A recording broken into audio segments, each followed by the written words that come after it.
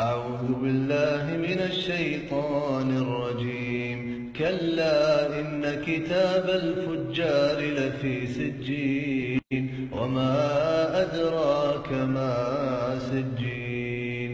كتاب مرقوم ويل يومئذ للمكذبين.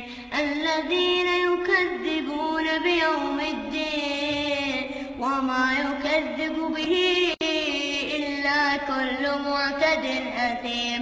إذا تتلى عليه آياتنا قال أساطير الأولين. كلا بل ران على قلوبهم ما كانوا يكسبون. كلا إنهم عن ربهم يومئذ لمحجوبون. ثم إنهم لصال الجحيم. ثم